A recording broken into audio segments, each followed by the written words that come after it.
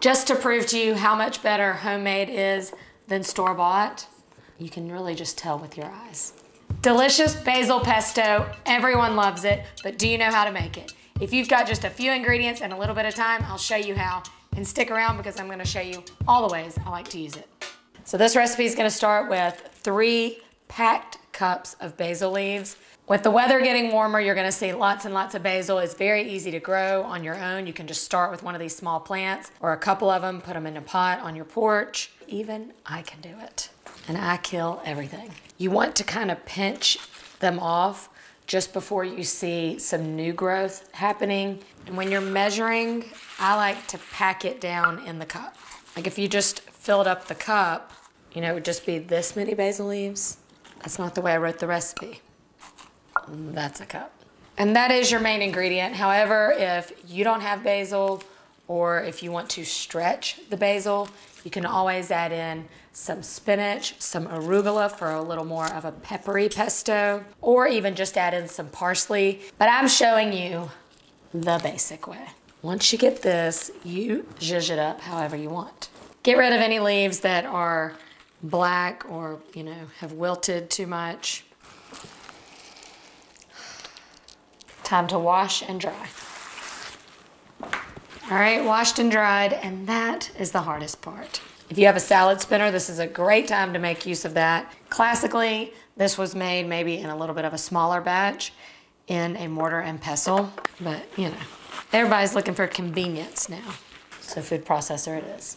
And then I'm going to pulse that with our nuts. So I'm using pine nuts. This is what's classic. It yields such like a creaminess to the pesto. It's amazing.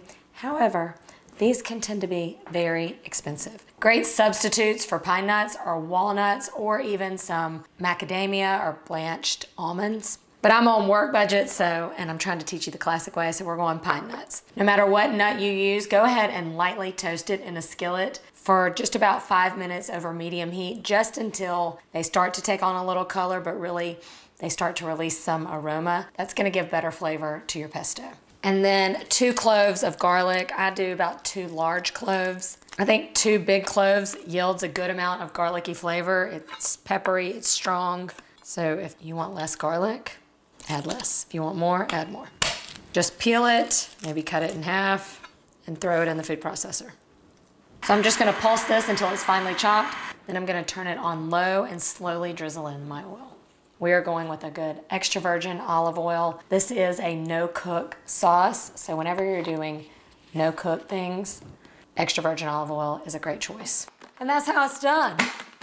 Scrape it down about halfway through. You can go as smooth as you want and you can get it as thin or as thick as you want. If you want it a little thinner, just add a little more oil. It's gonna thicken up when we add our final ingredient, which is the Parmesan cheese. The better the parm, the better the pesto, although you can use whatever kind of parm you want. You want to freshly grate it, about half a cup.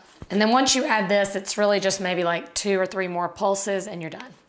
The garlic yields some peppery bite, so you don't really have to add pepper unless you want it extra peppery. The Parmesan cheese adds some salty flavor. And then for a bonus ingredient, a little squeeze of lemon. I think it brightens it up and just goes so perfectly with the basil and Parmesan. Final step, add in our parm, a little squeeze of lemon, just about one to two teaspoons, and then a pinch of salt. Couple more pulses and we're good to go.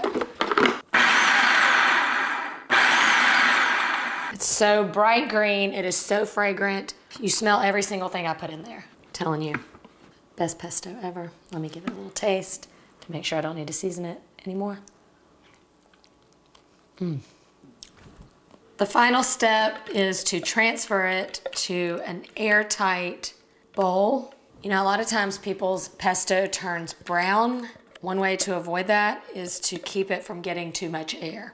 Just like how when you tear a basil leaf, as soon as that tear is exposed to the air, the edges turn brown.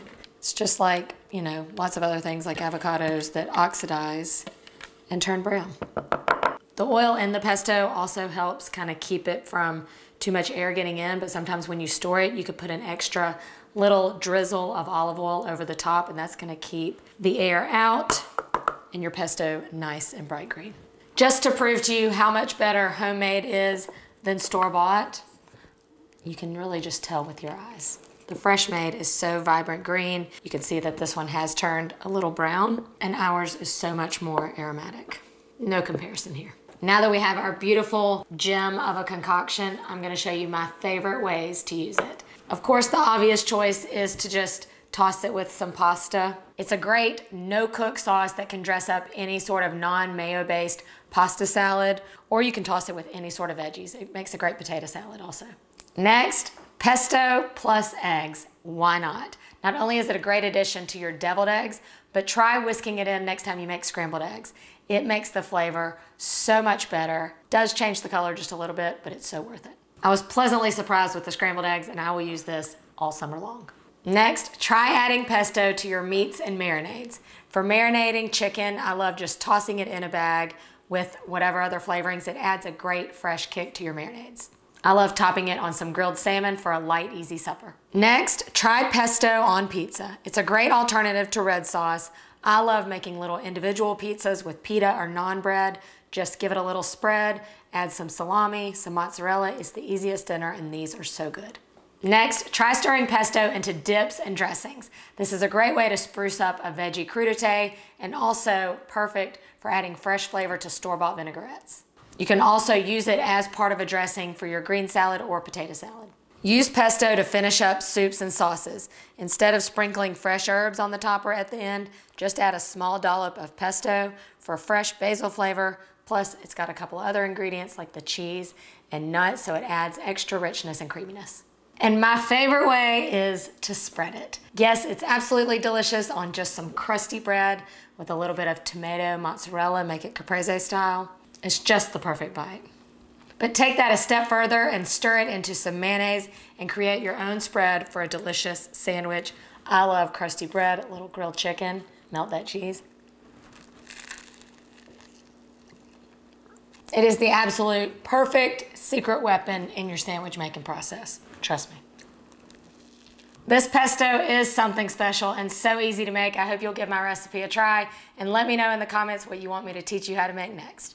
See you next time. Nailed it.